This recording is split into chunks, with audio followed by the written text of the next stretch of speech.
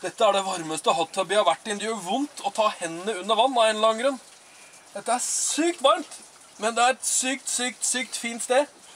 Og de andre pinglene jeg er ute og svømmer med, de er i det andre bassenget. De har ikke så verst der heller. Wave!